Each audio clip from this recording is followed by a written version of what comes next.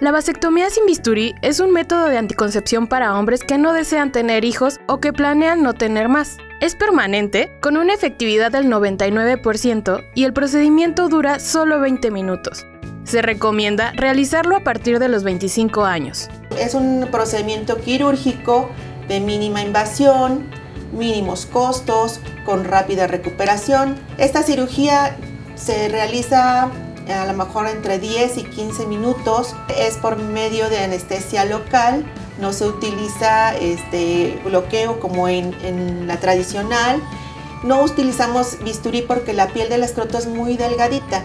Entonces lo único que hacemos es separar la piel, ¿sí? separar la piel por medio de una pinza muy fina. Es una intervención ambulatoria que no requiere hospitalización ni estudios preoperatorios, ya que no representa ningún riesgo para la salud.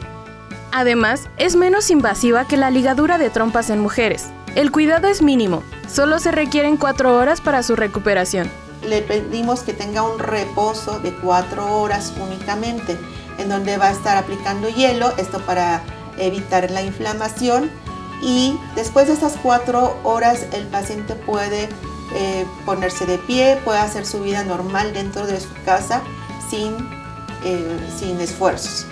Después de los tres días, la herida está completamente cerrada, eh, ya no hay inflamación, ya no hay dolor. Porque tú decides cuántos hijos tener, planifica.